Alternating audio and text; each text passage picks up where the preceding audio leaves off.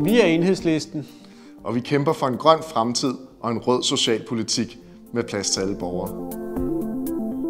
Mange syge borgere i Danmark bliver mere syge i mødet med jobcentret.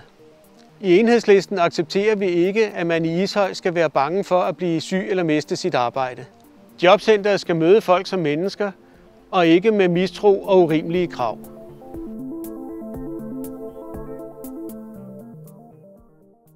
Klimaforandringerne gør det bydende nødvendigt for os at sænke vores CO2-udledninger.